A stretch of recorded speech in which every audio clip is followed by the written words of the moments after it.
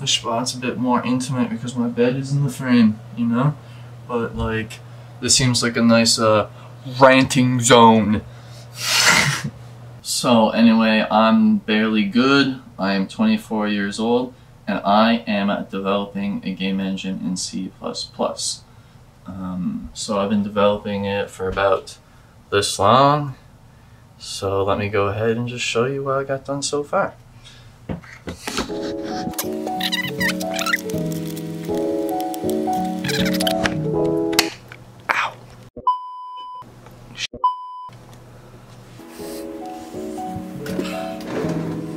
Okay, so what we have here is a main menu demo complete with functioning audio, sprites, and UI.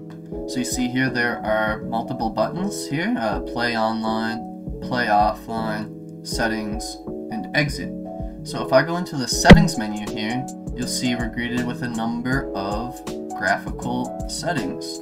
So we have these toggle switches here that toggle between on and off for settings such as VSync, full screen, and also anti-aliasing. Now this is because Nomad, the game engine I'm developing, is built upon Raylib, which is an open source games programming library written in C. And as far as I know, that uh, library only has support for one type of anti-aliasing, but it does a lot of the heavy lifting for me so I can focus mostly on uh, tooling and frameworks, which is really nice. So moving on, you notice I also have drop-down menus for the resolution and also the frame rate aspect ratio as well. And these settings take place when I click play offline. But first I'm going to show you the online bit. So this is an example of how you could like join a server, complete with a functioning text input for the IP address and port number, as well as a little section for your username and a chat.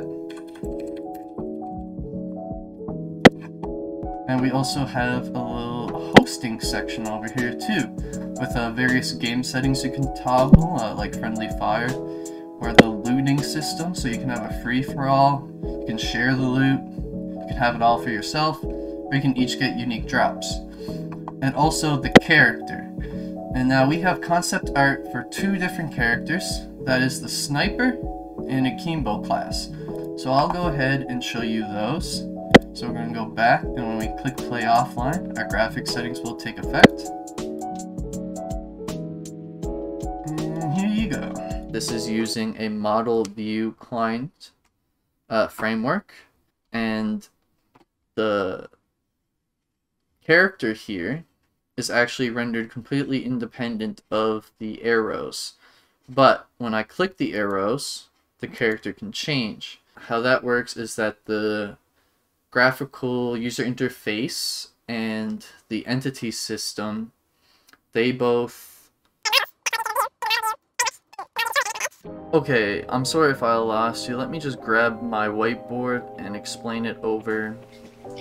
Here, up top, we have the engine I'm developing, Nomad. And then down here, below this beautiful black line here, we have Raylib. Now, I mentioned earlier that Nomad is built on top of Raylib, which is a games programming library which has been developed by one sole developer for over eight years now. So I went ahead and stole the architecture straight from the website, uh, which you can find linked below. Hopefully you can make it out from over there because I'm about to go through it starting from the bottom we have RLGL, and that stands for Raylib Graphics Library, which is an API for OpenGL, which is an open source graphics library. That handles all of the graphics. But notice a layer up, you have specific modules for textures, text, shapes, and 3D models.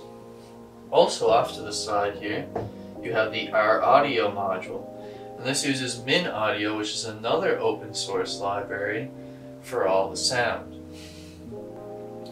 And hiding back here is the R core module.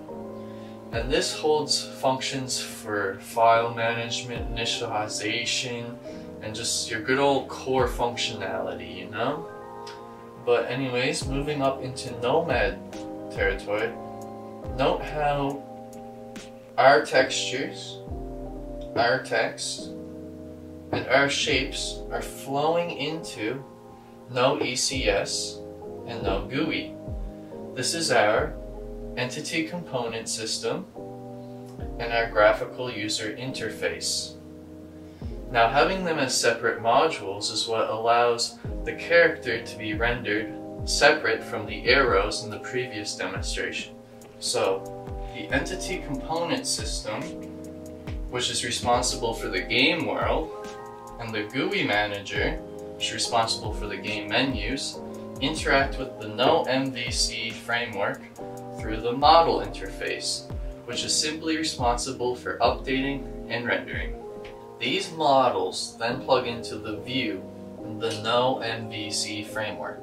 So the M in MVC stands for model, and the V in MVC stands for view, which updates and renders all models while also holding a reference to the controller, or C in MVC. And the controller controls the view as well as the audio through the no sound effects module and all loaded assets such as textures, sounds, and fonts through the no mem module. But barely good you may be asking. How does the character change when you click the arrow? If these models are rendered completely independent of each other, how does that work? Well, you see, no GUI comes coupled with its very own event system. So the view or the controller can inherit from the listener interface and be notified whenever a GUI element is focused. So when the arrow is clicked, it sends a notification to the view, which then can access the entity model and update the texture. It's that simple. Uh, but there is one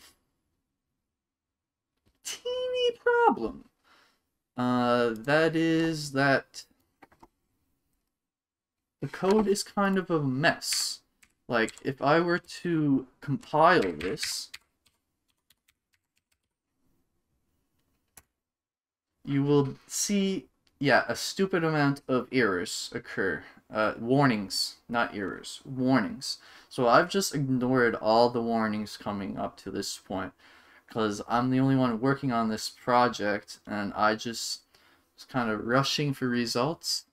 So what I want to do with this YouTube series, let me change my view here so you don't get Inception anymore.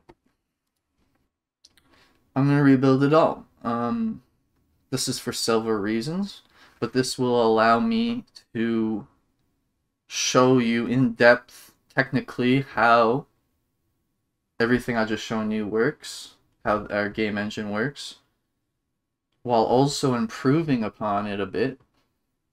And um, it will also allow me to publicize the engine a bit. Maybe make some of that good old YouTube money, because I haven't been making any money at all while working on this. Uh, so that would be nice. But yeah, I hope you think this is cool. I hope you stay tuned. Uh, in the next episode, I will start the rewrite. And, um, yes, like and subscribe if you like the video. If you think it's spaghetti, leave a mean comment. Spaghetti.